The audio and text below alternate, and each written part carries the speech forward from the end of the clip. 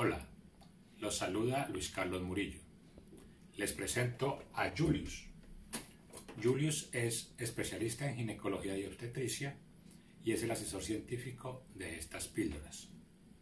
Julius es un cuy, un roedor muy apreciado en la gastronomía de la ciudad de Pasto en Colombia.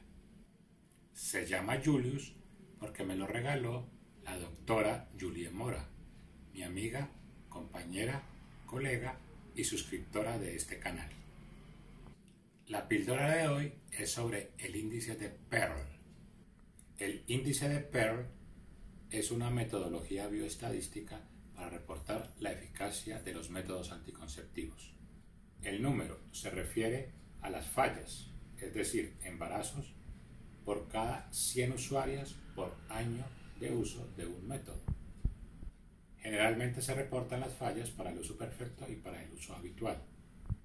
Es una idea equivalente al análisis por protocolo y por intención de tratar. En los métodos cuyo uso depende de la usuaria, como las píldoras, las inyecciones, los parches, los anillos vaginales, la diferencia entre el uso perfecto y el uso habitual es considerable. Por ejemplo, para los anticonceptivos hormonales combinados, el índice de PER del uso perfecto es 0.3, o sea, 0.3 embarazos por cada 100 usuarias por año, o lo que es lo mismo, 3 por 1000 usuarias año. Mientras que el uso habitual puede llegar hasta 8, como en el caso de las píldoras, pues requieren de una recordación diaria de la toma.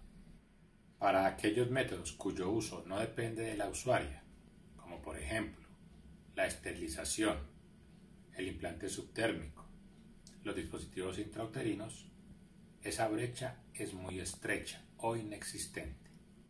El índice de PER de un dispositivo de cobre es de 0.6, de la esterilización femenina de 0.5, la esterilización masculina de 0.1, un dispositivo liberador de hormonas de 0.1 y un implante subdérmico de 0.05. Hasta aquí la píldora de hoy. Nos vemos pronto.